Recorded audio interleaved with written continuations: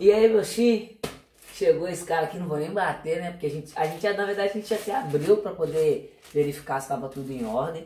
Então vai ser um box já com o telefone aberto, não vai ter aquela paradinha de rasgar, não, tá ligado?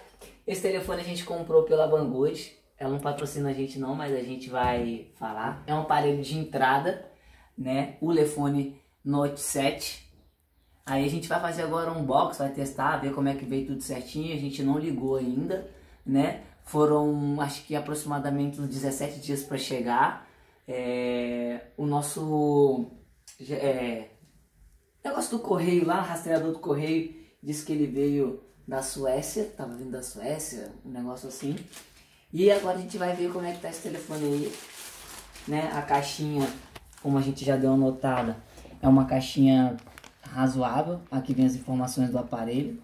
Uma caixinha até relevante ao valor do aparelho, né? Que foi um, um aparelho barato. Rapaz, deve apertar isso aqui. Bom, a gente não pode dizer que é um aparelho top, né? Porque pela caixa, né? Comparado ao telefone que eu uso, que é o S8, é, a caixa é completamente diferente. Bom, aqui não vem nada, né? Veio, ah, tá, veio, veio. Achei até que não tinha vindo. Um carregador. V8 normal. Eu acho que também provavelmente ele não deve vir tubo, apesar de a bateria ser uma bateria até boa. Carregador padrão brasileiro.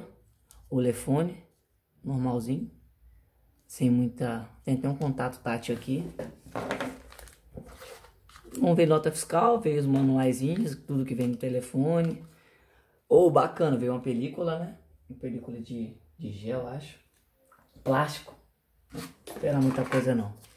E esse é o nosso cara. Olha só, cara, que aparelho bacana. E bom, já vem com bom dos aparelhos da China, né? Que eles falam. Ele já vem com capinha. O acabamento é um acabamento em plástico, deu pra notar aqui, veio com uma película aqui atrás pra não arranhar. Uma películazinha aqui na frente aqui, eu vou até tirar aqui pra vocês agora, pra vocês poderem ver. A traseira eu não vou tirar não, porque pra não arranhar. Ele vem com noite, vamos tentar ligar? Ver o que vai dar? Olha, bacana, vem com um notezinho aqui, um Android, é, segundo na caixa aqui, um Android, como é que é? 8.1 Go Edition, mas provavelmente deve ter atualização para o Android 9, que seria o One Pi. Eu vou fazer o seguinte, eu acho que esse aparelho, como tá muito tempo na, na caixa, eu vou botar ele pra dar uma, uma carregada pra gente poder fazer a iniciação dele, pra ele não desligar na nossa mão aí. É bem provável que ele com a carga baixa. Então ele iniciou aqui, né?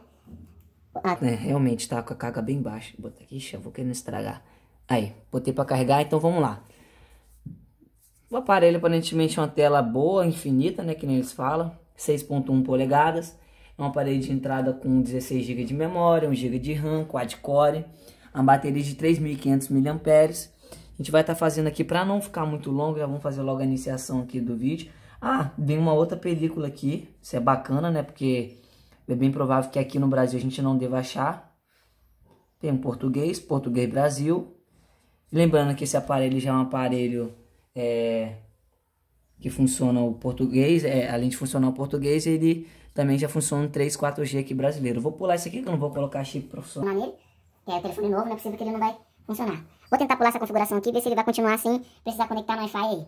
Mas até então, vamos pular isso aqui, a gente só quer mesmo ligar o aparelho. Agora não, pular mesmo assim. Cara, muito linda essa tela. A tela é extremamente aceitável, né? Cara, a tela do aparelho é incrível. Ó, deixa eu ver aqui como é que funciona, que eu tô meio, meio zarro aparentemente parece, na verdade, até um, não tava nem no brilho máximo, pô, um brilho, até o brilho aceitável. É um Android 9, lógico com suas estimações. É, esse aparelho é aquilo que eu esperava, né? Ele não tem aquele home para cima. O home dele aqui pro lado, as configurações, acho que é só isso que vem, deve, deve ser. Vamos entrar aqui nas configurações. Vamos ver o sistema dele aqui, o Android que realmente vem. Olefone Note 7, sistema. Vamos voltar aqui. Ele não fala aqui, cara. Notificações. Hum... Enfim, mas é isso aí que eu te falei, as especificações é aquela mesmo, Android eu não vou saber ver aqui agora, no vídeo mais pra frente eu mostro. Vamos dar uma olhadinha na câmera. A câmera traseira dele, na verdade eles são três câmeras, é, a bate, por devido a bateria estar baixa, as câmeras não vão iniciar, tá? Apertou aqui, ó. Olha, abriu. Ó. Low Power Failed significa bateria baixa, não tem como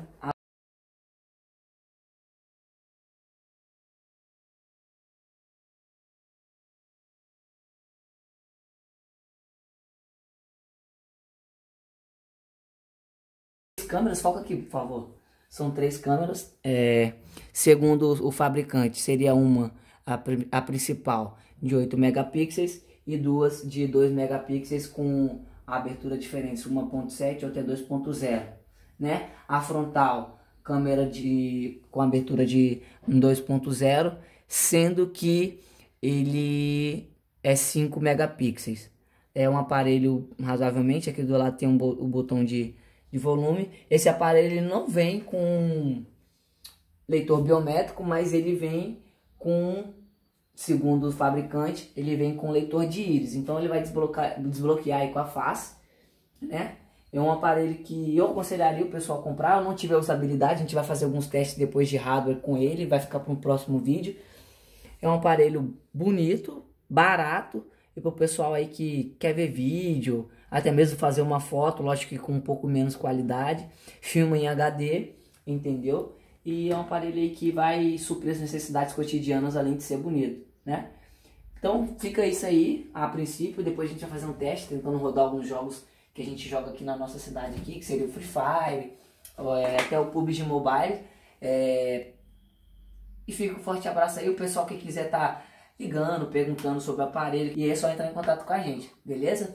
É, lembrando que aqui embaixo eu vou estar deixando também na descrição do vídeo é, o link da nossa loja, que é a Flashtech, né? Junto com o Vitinho Acústico, a gente tem uma loja chamada Flashtech, que faz reparos de smartphone, computador e relógio. E a gente está trabalhando agora, chegando com essa, essa linha de importação. E aí fica para vocês aí, é, Elefone Note 7. Valeu! É gata, não saio do teu Facebook,